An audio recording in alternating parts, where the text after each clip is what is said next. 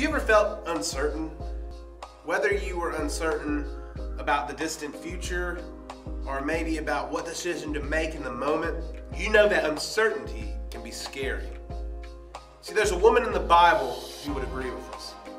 Naomi moved to a new country with her husband and two sons.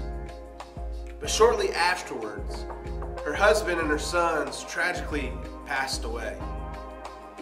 She was devastated. And her faith in God was shaken, but God wasn't done with Naomi. Uncertain about her future, she decided to return to her home country.